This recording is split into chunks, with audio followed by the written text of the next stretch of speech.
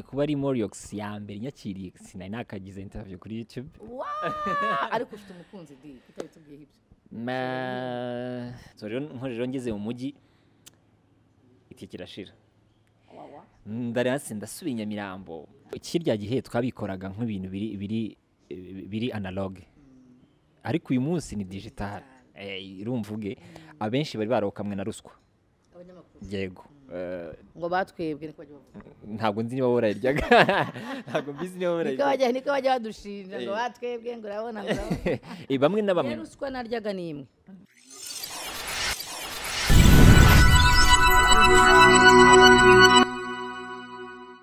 ndizera ko bamaze gukora subscribe kuri Moriox Media twicaye kuri Galaxy Hotel. Urabibona ko ari hoteli nziza mu byumba harasa neza kuri pisine harasa neza bafite ifunguro rya ku manywa n'irya nijoro bimeze neza.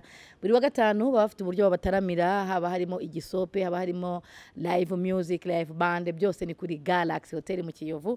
Bibutse ko dufite n'ishami i Rubavu Galaxy Kivu Hotel. Byose biba ari ubutamu. Kora subscribe kuri Moriox Media uri kumwe na TK Big Sister Mama Africa Queen of the Mic ndabeshyara big sister iryo ni ryo nkunda rero Queen of the Mic queen of the mic no kiyongeraho bicaranye n'uyu mtipe uyu mtipe ni umucuti wanjye cyane yitwa Leandre Leandre Mhm. sava sava ameze neza amakuru yako se waziyaranze ukabyibuha mani rero nimbyibuha nahita nsaza kandi ntabwo nshaka gusaza ntabwo uzasaza ahubwo uzawugira itotoho gakeya Eh, ufite ibiro bingahe utabirenza ntabwo ndajya ku munzani kuva wabaho ugiye kwa muganga se Eh, urumva iyo ndiye ntabwo njya ku munzani kugira ngo ndebe ibiro mpima. Eh. Eh, rero nirinda ko nshobora kuvuga ibyo biro byanjye. Ngewe cyakora nkubwiye nk'umuntu ufite experience ufite nka mirongo itanu na bibiri. Ndabirengeje arenzeho ibiro nka bitanu. Bitanu ntabwo bigezeho reka reka ntabwo waba ufite mirongo itanu impamvu ngiye nari umusiporutifu rero ku- ku- kuba ndi muto muto. Wari umusiporutifu ukora iyihe siporo nakinaga Eh, yego. Ngo football football waje kuyisimbuza gute mikoro Eh, uburyo nayisimbuje mikoro rero baramvunnye mara amezi atandatu ngendera ku mbago. None mama yambuzaga umupira. Hari igihe nagendaga najya gukina umupira bakanyiba inkweto banyiba inkweto nkaza ngakubitwa nakubitwa hatari ubundi iyo football yawe bite byaje no nyuma rero bamvunnye eh arambwira ati none se uracyakunda football? Akaguru karihe kaguru urumva nyine kari kamaze kuvunika rero mpita mfata umwanzuro mbose ariko n'ubundi nifite inzozi zo kuzaba umunyamakuru kuko eh, ndabyibuka eh, mu- wa kane primaire. Nibwo namenye ko ngomba kuba umunyamakuru. Nubwo nakundaga football ariko mu wa kane primaire numvaga ko nzaba umunyamakuru. Eh, nabikunze hari umukuze wanjye yitwa Janvier Murenzi yakoraga kuri RBA eh mise mbona munasa ahubwo n'ubu se ntakihakora aracyahari aracyahakora Janvier Murenzi chief editor niba ntibeshye yego. Rero ni we watumye nkunda itangazamakuru eh, mubonye kuri televiziyo ndavuga ati wawu why not nanjye ntaba nkuriye eh Janvier Munanasa yitwa Leandre hari irindi ninde Leandre niyo mugabo Leandre niyo mugabo Trésor. Akaba ari umunyamakuru wa TV10 akaba yaraciye mu buryo butandukanye. Ariko kuko turi kumwe nawe hano agiye kutwera history yo gato nk'uko mubizi dukoranye n'umuntu ikiganiro agomba kubanza kutubwira aho komoka uko byaje kugeza abaye umunyamakuru ariko wumvishe ko yigeze no gukinaho football ho gato nturambirwe rero kuri Moriox Media twiganire na Leandre. Mm, eh, amazina nyakuri ni Leandre niyo mugabo Trésor n'ubundi nkomoka mu karere ka Rubavu ariko siho navukiye ni ho nakuriye ariko navukiye muri Congo mvukira ahantu bita Masisi eh, nkurira i Goma so navuye Goma rero nza Gisenyi ni naho umuryango wanjye wanjye wose uri eh, nize amashuri abanza n'ayisumbuye na kaminuza abanza nize kuri Gacuba ya kabiri A abari aho muri Rubavu nyine eh, muri Rubavu barahazi. Eh, secondaire nyitangira muri EPEGI École des Parents de Gisenyi. Nza kuhava njya muri ESIG École euh, Islamique de Gisenyi. Eh, ariko ntabwo ariho narangije ko nahise njya mu rutsiro. Eh, ahantu bita groupe scolaire bumba ni ho nahise none njya muri eh, lettre ubu ndimi n'ubuvanganzo niga indimi n'ubuvanganzo ndarangiza. Nkirangiza rero nahise nyine mbona amahirwe nkora n'umuntu bita Charles Twagiramungu ndanamushimira cyane. Eh, yego nawe nawe ni umu chief editor kuri radiyo isangano ariko yakoze no muri RBA kera aza kuza kuhava. Twarahuye rero mubwira ko ndi passionné kuba naba umunyamakuru. Arambwira tuzaze arambwira ati fata nimero za nyuma. Numuvugishije aranyorohereza ntangira kare itangazamakuru ntangirira i Karongi. Uriya watangiriye mu ntara y'Iburengerazuba yego natangiriye i Karongi kuri radiyo isangano natangiye bibiri na cumi na rimwe. Eh, ngeza bibiri na cumi na gatanu nza ku ntabwo Imyaka ine. ntabwo nabashije nyine gukomezanya nabo ndahava njya rubavu n'ubundi nsubira mu rugo rubavu. Eh, nkora kuri radiyo rubavu amezi agera mu munani. Yego ya RBA sinabasha mbo no- kuko urumva icyo gihe ntabwo nari nagafashe umurongo neza w'itangazamakuru neza. Ah, uwitwa Patrick Wineza twari turi mu biganiro akora radiyo yitwa Energy Radio. Aza kuma ofa yo kuba najya kumukorera. Naragiye mpakora imyaka ibiri ubwo guhera bibiri na cumi na gatandatu kugeza bibiri na cumi n'umunani niba ntibeshye no bibiri na cumi na karindwi. So nahavuye rero nza kuri 10 kuri tv ten wowe wahageze gute? Ni urugendo rurerure. Eh, ni urugendo rurerure ariko eh, mbwira abantu mbere yuko mvuga n'ibindi bintu byose. Burya ntugatinye gukora ikintu. Ntugacike intege. Ntugacike intege. Eh, nari urumva navuye kwa patrick mpita nsubira rubavu nanone so rubavu rero na- nashyize ubwenge ku gihe nsanga ninguma rubavu ndaba nishe tara yanjye. Mm, yego hari radiyo. Ariko mu buryo bwo kwagura numvaga nyine nshaka kwagura nyine nkaba undi muntu muri media. Ni bimwe twishyizemo ngo ibintu byose bya- bya- byagukira mu mujyi oya si ibyo ngibyo. Ahubwo nuko numvaga ko nkeneye kujya kuri media house zikomeye so na- naje i kigali mbwira mama ngiye kuzamuka i kigali. Amara ati "So, ugiye i kigali nta ura- bira- urabigenza gute kugira ngo ukore? Inzu ndabona ariko bitewe no eh, biciye mu kubana mu kuba naramenyanye na connection nako- nakoze n'abantu bizabaho muri kigali nyine ntabwo nzaburara nk'umuntu mukuru. Nuko na- naje i kigali ndaza ah, ngeze i kigali ntabwo byari byoroshye ndumva nashatse umuntu tubana. Twicara inzu ibihumbi mirongo ine. Nakishyura bene ariko noneho njye namwijeje ko nzishyura inzu. Nta n'akazi ndabona. Eh, ariko burya imana iba ifite inzira nyine icishamo ibintu kugira ngo bibe. Hari igihe imana ikora ikintu urumva urugendo nari nkoze ntabwo nzi exactement ngo nzabaho nte bizagenda bite? Nta n'icyizere cy'umuntu wagomba kumuha akazi muri kigali ntawe waje i kigali udafite akazi? Ukwiyahura ko ari ukwiye nyine ubundi niyo mpamvu nakubwiye ngo iyo ufite passion cyangwa se ukunda ikintu nyine hari igihe wiringagiza nyina za challenge kuba ati kama mbaye mbaye reka nigendere ndahaguruka ndaza ngeze i kigali naciye ku ma media house atandukanye ntibabasha kunyakira. Ariko icyo gihe nari mfite aka extano kanjye nari mfite ibiganiro nagira nka nkatitija bakumvise ko ni umunyempano nkafata extano nkayumvisha umunwa ati ndumva ndi umunyempano mfite ibiganiro nakoze byinshi so why not utamfasha? Bamwe bakampeza promesse zitabaho bakavuga ati uzagaruke nagaruka turumva nitura byageze nyuma rero mfata umwanzuro wo kujya kuri TV 10 ndabyibuka navuye. Ari wowe uteye intambwe wijyanye yego. Navuye navuye nyamirambo nari ntuye kwa gisimba urumva nkigera i kigali na- nahise ntura kwa gisimba. Nta nta n'itike nari mfite ariko ya mpano yarandyaga nkumva nyine ndimo ndaribwa nkaba se nzagira hahandi gute nyine nifuza. So narahagurutse rero mva nyamirambo ndabyibuka imodoka ngejeje mu mujyi nari ifite eh, ikarita yo gukozaho. Nkozaho nge- ingeza mu mujyi ngeze mu urazi mujyi. ko waje i kigali hari amakarita yo gukozaho. Eh, no, ubwo ntabwo bwari bwo bwa mbere. Eh. Eh, na- indi minsi Eh. naraza. Ko najya- najyaga nza mu makonseri ya banores ba Yes. kamiliyoni ya so rero nkoje rero ngeze mu mujyi itike irashira. Ndarasi ndasubiye nyamirambo. N'amaguru. N- n'amaguru ndabigenza ne Eh, nafashe umwanya ndabana reka ntekereze ku cyo nshaka. Nsanga icyo nshaka cyane ni akazi kuruta uko nyine naguma mbabaye. Nagiye n'amaguru kugera ku gishushu. Uvuye mu mujyi. Yego. wanyuze shotikati Na- na- nagiye nca amashotikati ndabyibuka naciye hano peyaje urumva ndamanuka mpita ngwa mu- myembe mu myembe icyo gihe n'imihanda itarakorwa na neza cyane. Ubwo nyine inzira ndayikubita mba nguye ku gishushu. Ngeze ku gishushu rero yari filime ufite njye bifata nk'ari filime nyine nari ndi gukina. Nta muntu umwe nzi kuri radiyo disi na tivite n'uyu usibye kate nawe ntabwo twari inshuti cyane. Mpageze kuri reception barambwira ati tugufashe gute? Noneho ikintu cyari gisekeje nabwiye nabwiye umu receptioniste nawe ni ngewe ndashaka boss. Ese bose mutanye gahunda? Boss mufitanye gahunda hatoya ntabwo dufitanye gahunda ariko ndamushaka. Noneho umu receptioniste urumva hari ba boss babiri. Hari Casta bayingana na Nyagahene. Ubwo ni batatu. Noneho arambwira ati "Ese ushaka uwuhe? Hagati yabo hagati yabo batatu. Ndahati ngewe ndashaka bosi nyine uwo navugana nawe. Ati ese ushaka iki kugira ngo byibura twumve niba tugufasha.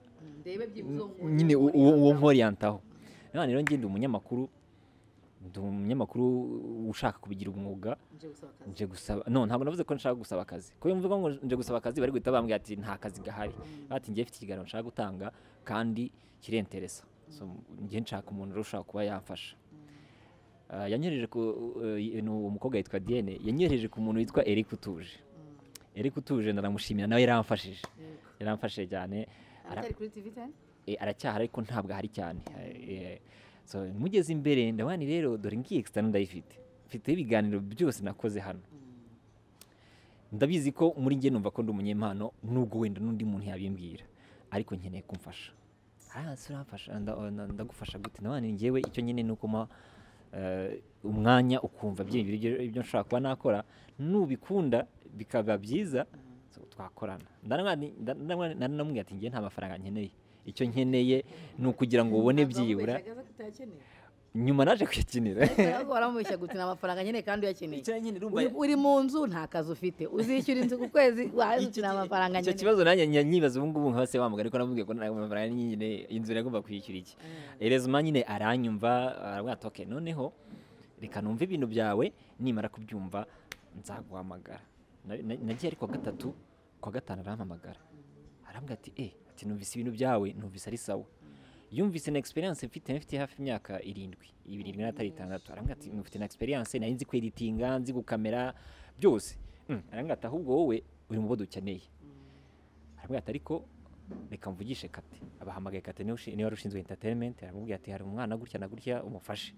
Abamuhuje na kate. Nuko ninjiye muri tv 10 mu magingo aya ngaya rero ndumva amazemo imyaka itatu n'igice niba atari ni itatu n'igice. Oh, wow. Ntabwo urugendo rwawe rwari rworoshye bya- kwanza kuraje na felicitation kuba utaratinye ukemera ukava mu mujyi n'amaguru. Nibyo nyabwira abantu ni icyo ushaka kuba cyo ukigeraho ari uko wihirinze. Ntabwo uzicara hasi icyo wifuza kikugereho ntabwo uzicara hasi icyo ushaka ukibone ahubwo uzakora kandi ukore korana umwete ukora ubishatse. Ah, winjiye mu gakino rero cyangwa se imyaka irindwi na yo ni myinshi numva wajya uhera ku maradiyo atandukanye ariko uje i kigali byanze bikunze ugeze kuri 10 wabonye ko bitandukanye n'ahandi hose wajya unyura yego yari experience itandukanye nari menyere radiyo. Nari umu animateur mwiza kuri radiyo. Ngeze kuri televiziyo rero byari ibindi bindi. Biragucana. Nabyibuka sinzi umunyamakuru wabuze. Barambwira ati none ni we ugomba guhostinga ikiganiro. Aribwo bwa mbere. Batereka tugutereka pudire tu ebana bankubise barambwira ati ngaho jya sasa utwereke. Iyo mpano yawe. Kandi wicara kuri radiyo ukumva nyine. Eh, radiyo urumva ufite mixeri uzamura upureyinga ugira n'ukureba nta n'ukureba. mu mutwe wakukora he? Nta ukureba. Mwa bantu mwe bacanye AC harakonja ariko nari nshyushye. Ibyuya byaravuye nari none bakambwira gateze kuri gutranspira bite Eh, eh. ubwoba buranyica. Noneho kuri televiziyo hari ukuntu bakubarira. None se wari ufite ubwoba bw'iki? Yari experience ya mbere ngiyeho. Kuri televiziyo urumva ni ubwa mbere ngiyeho. Ntabwo nzi uburyo bitwara ntaki barangati jyaho barakubarira hari ukuntu babara Eh. akakubarira n'uri kuri mixeri hejuru baravuga ati gatatu kabiri rimwe twagiye. yewe gadata we ibyuya byaravuye barabwiye ngo twagiye wahise ukora iki? Mbo nakoze introduction bisanzwe ariko nari mfite ubwoba. Nyine urumva hari ukuntu uvuga ukumva ufite n'ubwoba. Eh, eh, eh. ariko maze maze nk'iminota nka cumi n'itanu ntangiye ikiganiro apo asa numva ari ibisanzwe Mm, wow. Ni byiza cyane kuganira n'umuntu nk'uyu ari mu mwuga nk'uwacu akora entertainment kuri tv 10 radio dc muramuzi cyane ni leandre akunda kugaragara cyane kumwe n'abahanzi batandukanye ibiganiro mbese biri entertainment cyangwa se biri entertainer. Ah, leandre showbiz yo mu rwanda. Imazemo igihe kitari gito imyaka irindwi nubwo se wahereye mu maradiyo yo mu ntara ariko ufite eh, imyaka cumi n'umwe. Ufite aho wayihereye ufite uko wayikoze kuri radiyo disi wamaze imyaka itatu wajya uhura na benshi wajya ubona byinshi. Wagiye witabira amakonseri atandukanye. Icyo gihe n'uyu munsi entertainment ihagaze gute Eh, ndavuga ngo kirya gihe twabikoraga nk'ibintu biri biri biri analogue ariko uyu munsi ni digital. Eh, irumva entertainment yarakuze. Uyu munsi turabona abahanzi bashya kera byari bigoye nawe urabizi. Umuhanzi mushya kugira ngo aze rwose byafataga n'imyaka n'itatu ingahe kugira ngo ubone abahanzi bashya. Ariko uyu munsi umuhanzi a- aravuka agakubita ibintu kuri social media ze pa ukabura ubumenyi. Itangazamakuru rya- kera n'iry'ubu ngubu biratandukanye. Kera byari bigoye ko abahanzi bashaka kugira aho bamenera abanyamakuru bagenzi banjye baraza kuza kubyihangana mbivuge abenshi bari barokamwe na ruswa. Yego. Eh, ngo batwebwe ntabwo nzi niba warayiryaga ntabwo mbizi niba bajya niko bajya badushinja ngo Eh. batwebwe ngo urabona ngo Eh, bamwe na bamwe. Ruswa naryaga ni imwe. Naryaga ruswa y'indirimbo nziza. Indirimbo niba ari nziza umuhanzi ari mwiza naramupromotingaga ariko ndi wanzaniraga indirimbo nayishyiramo nkumva ni bwaju bwaju. Ntabwo nayikinaga. Niyo mahane rero hari uyu munsi yo kuvuga ngo kanaka niyankiniye kuko sinjya nkina indirimbo mbi pe. Icyo gihe kitoko rwose namuharaye kuko yari afite ibintu byiza. Mm. urabihakana? Yego ndabizi ndabizi yari afite indirimbo nziza. Rero ikirya gihe byari bigoye cyane ko hari na production itari nziza itari yagera ku rwego rwiza. So, abahanzi bamwe na bamwe rero bamwe na bamwe bagiye bacika intege abandi ba- ba- barakomeza. Entertainment ya kiriya gihe yari mu ishyaka. Ewana hari mu ishyaka rya danje. Urumva ndabyibuka ari n'amakonseri menshi nagiye nzamo i kigali. Witegeye bataguhaye tike eh, ukumva ufite rwa rukundo kugira ngo ya showbiz itere imbere. Eh, ntabwo mbizi uyu munsi niba eh, bakunze kuvuga ngo nta bufatanye burimo. Showbiz isa nkaho yahindutse. Buri wese n'imyamwigendaho bamwe na bamwe barasharingirana ugasanga nyine barapostingirana ariko ntabwo nyine biryoshye nka kera. Ariko singira ngo mu bijyanye na poste cyangwa gupostingira no gupostinga umuntu wenda twembi duhitura abanyamakuru tugiye kungurana ibitekerezo ngira ngo wenda biterwa na wa wundi n'uwo usanga usanga ugusapotinga. Ku buryo ngewe niba mfite ibikorwa byanjye utajya umpostinga nanjye sinzagupostinga ibyo ndabyemera. Reka ngohereze urugero. Ivan impano umupostinga cyangwa se umupostingira ari umuzi? Hari wari umuzi bivuze ngo nuko kuzi cya kintu cye n'ubuhanzi habayemo kwanza first of all ubumuntu umuntu avuga ati uriya muntu yakoze ikintu cyiza why not nagipostinga why not ntafashe uyu mwana? Eh, ngewe nimero ya Ivan impano ninjye wayisabiye. Nayisabye abantu nka batatu. Ah, mbona nyiguyeho ndamuhamagara ndambwira uzi kuririmba? Uri uwa hehe? Kuraje? Kora ibintu byiza. Nanjye kubera wowe. Ajya abaye so excited arambwira ati ntabwo nari nzi ko wama complimentary nk'iyo ngiyo. Ariko ngenda bikunda nta nubwo ari Ivan impano gusa na Ivry nigeze kumuha complimentary ntamuzi Ah, ni benshi. Nagenda nta eh. Rero iryo tangazamakuru rya kera bamwe na bamwe batinyaga itangazamakuru akumva ko umunyamakuru ari igitangaza adashobora kumugeraho ariko Leandre hari abari barigize ibitangaza. Yego bari barimo nyine nubwo tutabavuga ariko bari barimo. Ku buryo nyine wumvaga ugiye guhamagara umunyamakuru runaka bati mana yanjye koko buriya ara- aranyitaba aranambwira nabi. Hari n'abanyamakuru bacaga intege abahanzi umuntu atatinya kubivuga ugasanga umunyamakuru eh, niba atanamwatse n'iyo ruswa amuciye intege mu buryo arambwira amagambo atari meza. Atari meza nka melody yaravuze ejo bundi bati hari umuntu wagize kumbwira ngo uburanga bwanjye ntibucuruza. Buriya kiriya gikomere azakigumana kugeza igihe. Kuko nyine hari hari hari membrance agira iyo yibutse nyine wa muziki arimo. So rero itangazamakuru rya kera wasangaga bamwe na bamwe ari beza abandi ari babi. Uyu munsi rero twishimira ko dufite media iri iri vast. Yagutse.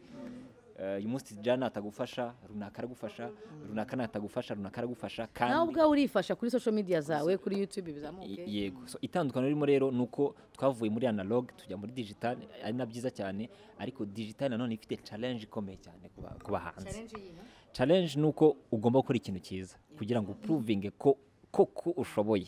Eh, iyo challenge rero abahanzi bamwe na bamwe ntabwo bayitekereza ariko irakomeye kuko niba ni urugero medbit yakoze indirimbo nereka ntange nk'urugero Eh, agakora nk'indirimbo ya, Mavo- Mavo si indirimbo nziza kugira ngo ujye kuzana indirimbo ukonvenke ni uko ugomba gukora byibura ibiri kuri standard imwe. Eh, nturirimbe nka Meddy cyangwa se nturirimbe nkawe ariko byibura ubone ko production nziza video ni nziza so niyo challenge ihari kera nta, bantu benshi twari dufite bakora izo video ba The Benjamin urabyibuka bakora Urban Boys okay video zari nziza ariko nyine bagiye ba, ba upgrading Ya, zagiye- zagiye zitera imbere. Nk'umuntu uri muri showbiz utubwiye byinshi kandi byiza bigaragara ko hari naho byageza showbiz dufite uyu munsi. Impamvu twibanze kuri showbiz ni uko ari cyo gisate urimo kandi kikaba kino bakaba dukurikiye kugira ngo bamenye ngo birakorwa gutya bigenda gutya. Abahanzi ahantu ugeze gukomora ngo showbiz nyarwanda nta bumwe burimo. Abahanzi nyarwanda kuba wenda batambuka imipaka imi- ibihangano byabo bitagera kure nk'umuntu uri muri iyo uri muri mu- mu- urimo indani ubikurikirana ubana nabo umunsi ku wundi. Ukaba ubona wenda tuvuge nk'umuhanzi w'umutanzaniya yaravuka uyu munsi nyuma y'iminsi ibiri indirimbo ze zikabustinga zikagera n'inaha na hehe uwo muri kenya bikaba uko abahanzi kuba bashobora kuba bamara imyaka icumi makumyabiri imyaka icumi cumi n'ingahe bakiri bakiri loko niba yamamaye nyagatare musanze rubavu karongi i kigali akumva ko bihagije. Ariko ntube wakwambuka umupaka ngo uhite uvuga ati ya wa muntu ari bosi nyine nk'uko twe tubona ko bari kiba bari bosi bande bari bosi nta muhanzi w'umunyarwanda uri bosi mu gihugu kindi icyo ari cyo cyose. Ari bosi mu rwanda ariko mu kindi gihugu wapi. Niyo habayeho gato ashobora gushyiramo indirimbo ye bagatangira kubazanya. Uyu ni nde? Uyu ni uwahe? Basi ntago nta identite ahari ngira ngo dufite. Biraterwa n'iki? Nuko ubwo bumwe tutabufite nuko niki gituma kugeza uyu munsi abahanzi bacu bakiri loko? Eh, eh, iki kintu ni ikintu gikomeye cyane. Njya nkunda kubwira abantu. Duk- dukundane. That's it. Impamvu mbivuze ibi ngibi. Ejo nari muri press conference ya dekule abantu baze kuza kunyanganira nkoreshe nyine urwo rugero. Ya- dekule god. Uriya ufite concert uyu munsi. Baramubaza ati ese n'icyo ubona cyatuma umuziki w'abanyarwanda utera imbere? Ibaze ni umuhanzi bazanye kuva muri nigeria ariko avuga ati mwe mukundane mukunde ibyanyu. Ni nko kuvuga ati ubundi mwanzanye kugira ngo bigende bite? ngira ngo nkore iki? Urumva? Aravuga ngo kugira ngo umuziki wanyu boosting kugira ngo umuziki utere imbere nuko nyine mukundana mugashyira hamwe. Ibyo bitangazamakuru bigakina abahanzi babo eh, ibyo bitangazamakuru bigaha umwanya i- za mpano z'iwabo then media ikagira uruhare mu ku- mu mu gukundisha abanyarwanda umuziki wabo.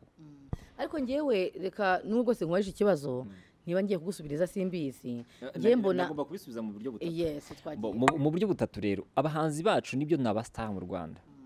Ariko bamwe baracyatinya gushora. Iyo ni impamvu ya kabiri.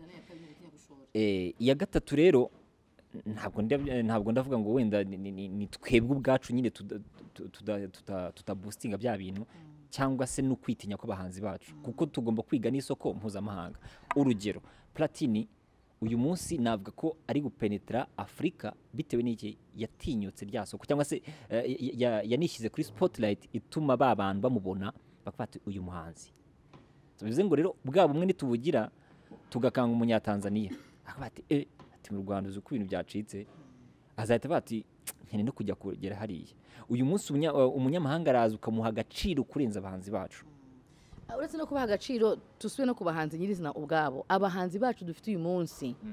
Bifuza kuba abahanzi mpuzamahanga. Bazi kwiporomotinga ubwabo. Bazi kwishakira promoters mu bihugu bitandukanye. Bazi gufata neza abanyamakuru bashobora kuba babafasha mu bihugu bitandukanye. Bazi icyo bakora kugira ngo bageze ibihangano byabo hanze. Reka u- wenda urumva nk'ubu ni urugero nka tijara afite connection muri tanzania. Ushobora no gusanga nta muhanzi urakwegera kugira ngo byibura umubwire ati vugisha n'unyege n'uwo umutanzaniya mbajije ati nshakira ibihangano by'abanyarwanda nzacuranga iyo mbahuje ntiyongera kumuvugira cyangwa iyo mubwiye ntiyarikana ko wakuntumyeho nta reaction akora. kominikasiyo y'abanyarwanda iri down down.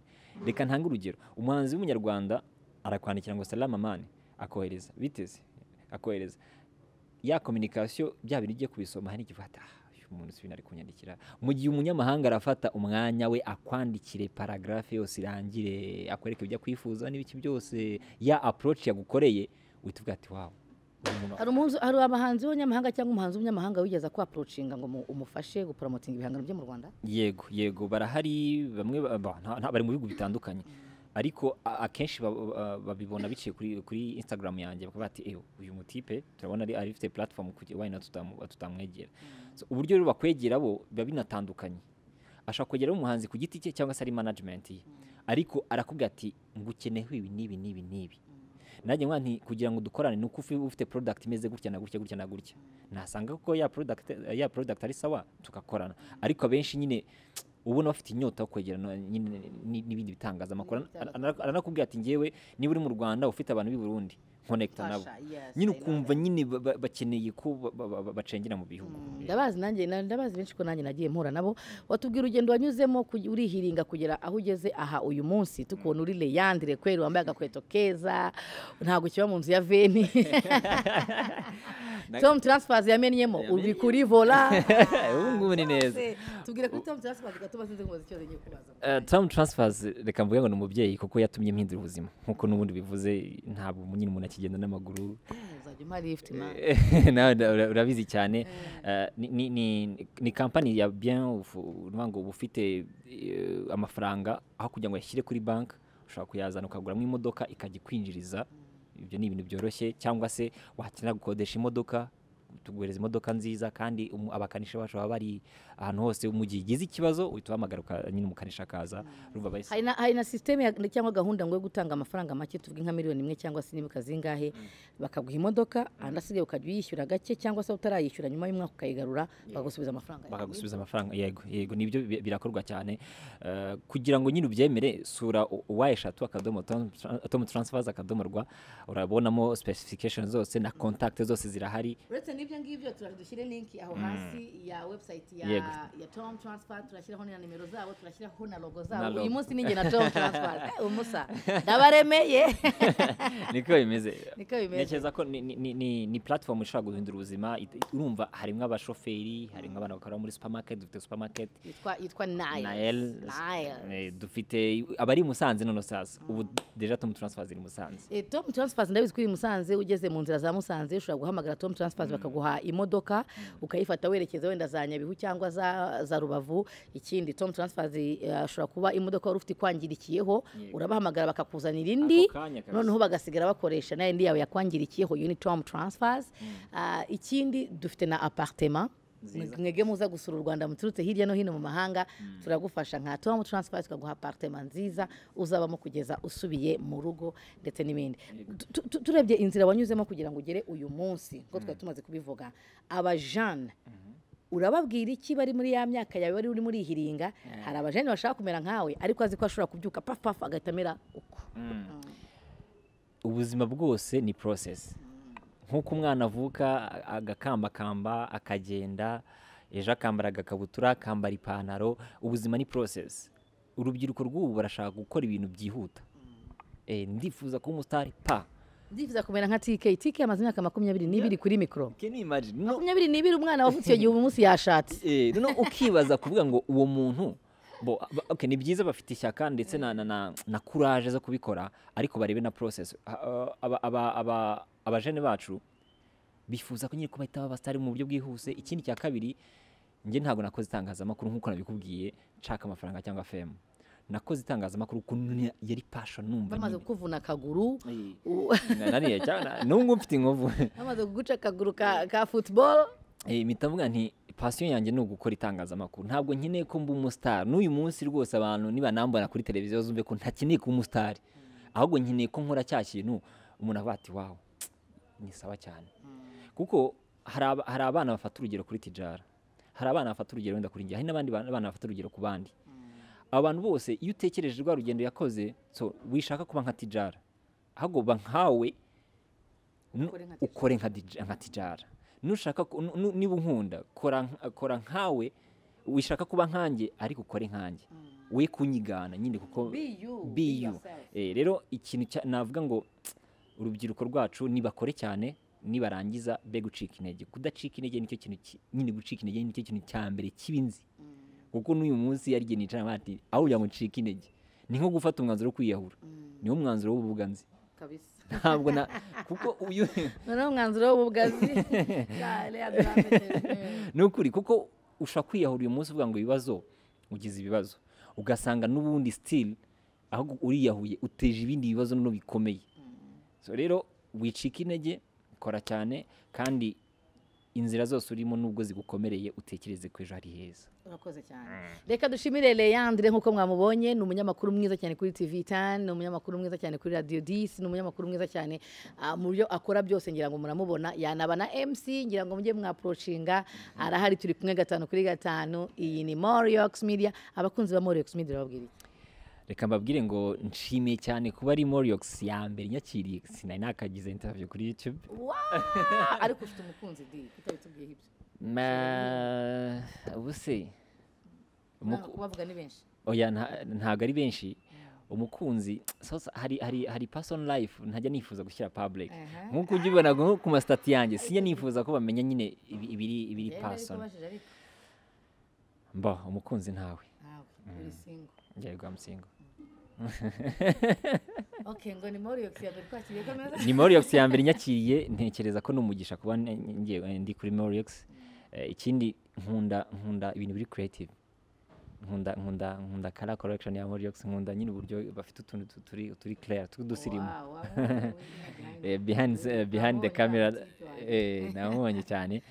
Ya ni sawa rero ni umugisha kuba mu- mu- munyakiriye atari n'ubwa mbere cyangwa se ari n'ubwa nyuma ubwo nigiza ko nyine n'ubutaha, n'ubutaha urakoze cyane eh, arakoze cyane leandre yigeze nanjye kujya ntesha umutwe ambwira ngo ashaka kuzama interview tugapanga bikanga twakoze interview iryoshye Eh, ariko nyuma yaho twaje guhura nsangana agatipe kadafite ibiro ariko ya icyatsi ariko ubutaha tuzahurira warabyibushye mani tom transfers yaguha imodoka aguhe na supermarket ujye ugenda ufate amata buri gihe ufate shokora ufate utuntu twose tubyibushye maze ubwe tom ngo ajya ampa ajya ampa bili ubundi hari igihe njya- ntekereza kubyibuha nkabikumbura Eh, kuko mba mbona bidashoboka urakoze cyane kuri Moriox Media tukebwe naho mukanya komeza kandi subscribe ciao Thank you.